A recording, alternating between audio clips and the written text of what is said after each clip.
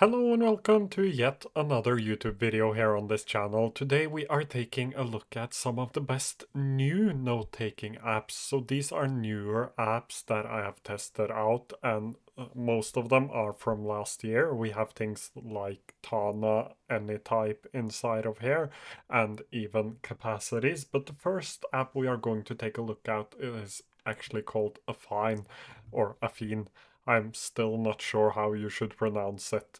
However, this is an amazing app. It has the basic page structure, which you might be familiar with if you have used Notion. You have um, you have databases inside of here as well. It is again open source. You have backlinking inside of this app as well.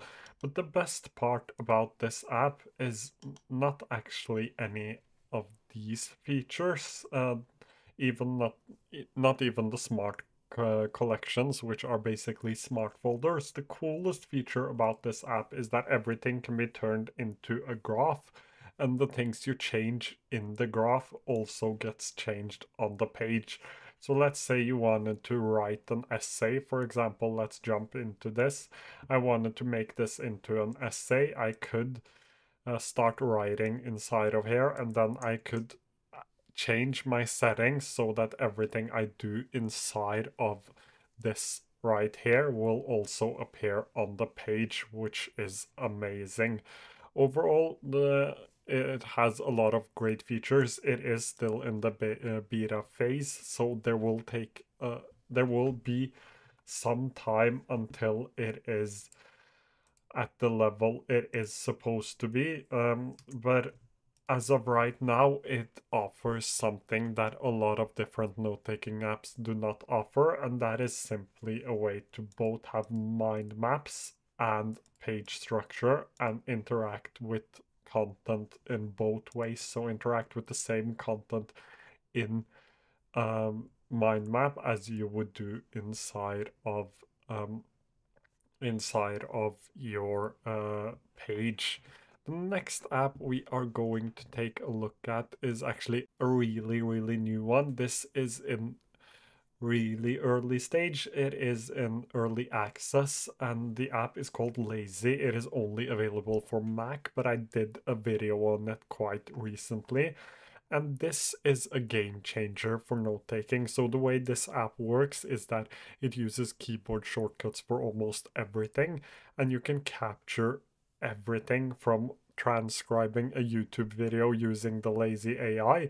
So, just by pressing Command L and com and getting a transcript so that is backslash then transcript again i'm showing all of that in the video you can actually get the content and the transcript of a YouTube video. Uh, every time you capture an article, it captures the author of that article, and this is huge. It is probably the best capturing I've ever seen in any note taking app.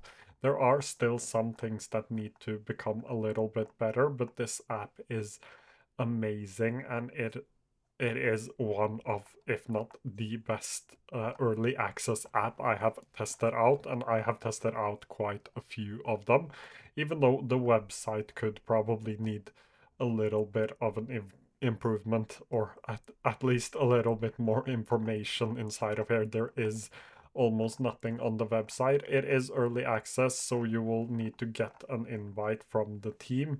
They have a great onboarding and they show you how to use the app, but honestly, I am so excited for this app. It costs around ten uh, dollars each month, and it is just an amazing app that does something that none of the other apps are doing and that is why I am actually making this video so all of these apps I've chosen to include inside of here offer something new because there are a lot of other new note-taking apps that have gain a little bit of hype, but in my opinion, they just do the same things as some of the other apps that are already out there. The apps I am talking about in this video, in my personal opinion, are apps that do something a little different. The next one is Tana, and Tana is great at capturing as well. They have, just like Lazy, a mobile capture app, and it is also still early days for Tana, but you have this today uh,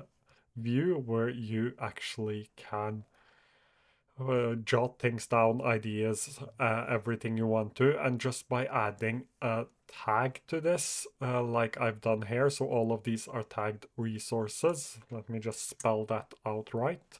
I actually, I have actually spelled it wrong in all of my videos, and I just today got an email about it, so now I have to go in and actually change everything.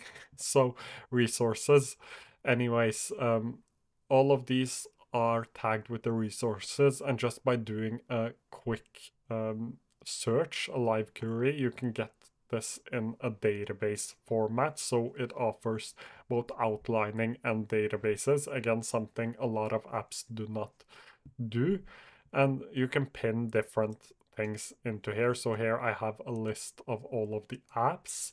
I have uh, a list for all of the social media ideas. I'm actually not using this on a day-to-day -day basis, but I have some content in it for different YouTube videos. So this offers something really, really cool, which is the ability to both have tags, uh, both have outlines and quick capturing, and also have databases like you have in Notion. The next app is actually an app that I I wanted to include this because this is an app that doesn't actually become uh, your second uh, brain. Uh, this is an app that so this app right here, I wanted to include it. It is called Twos and it is not an app you actually go into thinking that this will become your second brain. This is an app that actually is you just use it and it becomes your second brain because capturing is so easy. It is lightweight, it is fun to use, uh, and a lot of people have been trying this out, me included, and suddenly they had a lot of information inside of it. Some people have uh, actually made this their main note taking app, so this is actually great for daily. Uh, daily journaling, bullet journal style, and I wanted to include it because I think the app is really good and it offers a lightweight experience that a lot of other note-taking apps do not. This they call it just a place to write things down and having an option for just writing things down without putting too much thought into it is actually amazing for a tool like this and it is something I think a lot of people could benefit from. That's why I have chosen to include this in here even though it is not as complex as the other apps I am covering in this video. The next one is Anytype. I was actually going to show you the app, but I can't open it on my computer for some reason. But Anytype is sort of like Notion, only local. So imagine, uh, imagine Obsidian and Notion having a baby. That's Anytype. Amazing application, super fast because it is local, also open source. So if that is something you like, uh, Anytype is a great app for you. You have databases inside of here, and this is object-based note-taking. So it might take a couple of weeks or even days or even months to get used to an app like this, but um, object-based note-taking really makes sense once you get into it. Uh, another thing that this uh, has now is templates and their gallery. They released a new um, update yesterday, or I think it's two days ago, something like that, with a web clipper, a gallery, and some mobile features, which is amazing. So if you're looking for a private open source sort of Notion-like application, this is probably the best one out there. The last app I am covering in this video is actually called Capacities, and this is also an object-based note taker, quite similar to Notion. You can get things uh, in databases here as well with filters just like in Anytype or in Notion. Sort, you can get it as a list, as a wall, uh, as a gallery or uh, as a table, which is what I prefer. As you can see here, these are different uh, objects and you have daily notes inside of here as well. You have a calendar page, which is great for just uh, capturing things and writing things down, and then you can organize it later. Uh, I haven't actually ever gotten into this app. I know that it is amazing and I've played around with it, but it just didn't make any sense for me personally. Uh, but overall, amazing application and um, a great choice if you're looking for a new note taking app. It has everything you would want from a graph view to backlinking to databases. So and it is focused on the object-based note-taking. So if that is something that resonates with you and you like the sort of database page structure, this is an amazing application to try out. As usual, thank you so much for watching today's video. If you have any questions, feel free to leave them down below and I will try to get to them as soon as I can. Thank you so, so much for watching today's video.